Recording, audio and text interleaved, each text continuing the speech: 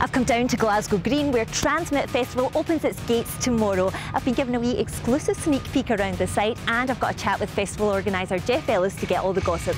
Fancy a wee look?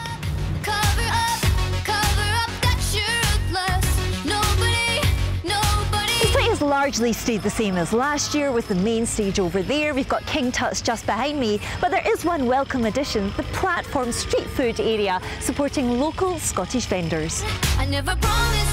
You've got a nice little oasis of calm amongst the madness, so what food can we expect here? There's a combination of curries, burgers, some vegetarian stuff, um, some shrimp burgers and some Middle Eastern food. What's so amazing about platform is all the traders all come from you know, they've all got a bit of a passion about what they do and the product and they're all, you know, they're a bit of an artisan sort of feel about what we all do. So, you know, guaranteed that the food's all going to be really good quality.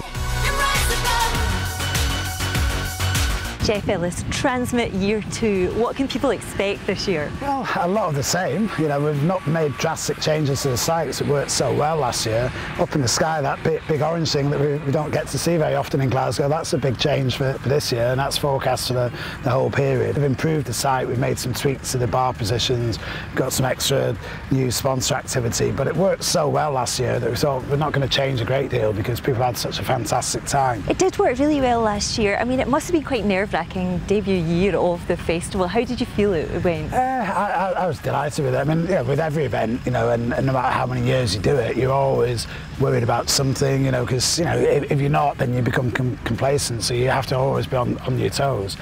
But you know, I, I, didn't expect any real problems, and it, and it went went off exactly as I, as I expected. And I think for people in the city centre who might have been concerned about it, they were really delighted with it. And so you really saw then an economic impact on oh, the city and Scotland as a whole. definitely, yeah. And and you know, I mean, all major events, you know, when you're bringing in up to 50,000 people a day, that has a huge, you know, financial impact for the city. Even just a hydro on, you know, a fraction of that attendance has a big impact on the city because you know people go out and they might get something to eat the next day they're, they're, they're visiting the city.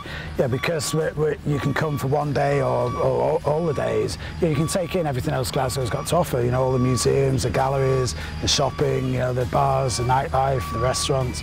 Yeah, so people are spending money in the city centre. You've got everyone from The Killers to Darkness to Liam Gallagher. Tell me a bit about the lineup. I think, uh, you know, we've got the opportunity with, with having more days to be a bit more adventurous and, and look at different genres. So having Queen and Adam Lambert for their own UK festival, uh, you know, it was a real coup. So it looks like everything is in place and geared up for you to have a brilliant festival. If you're coming down, enjoy it, stay safe and have the best time.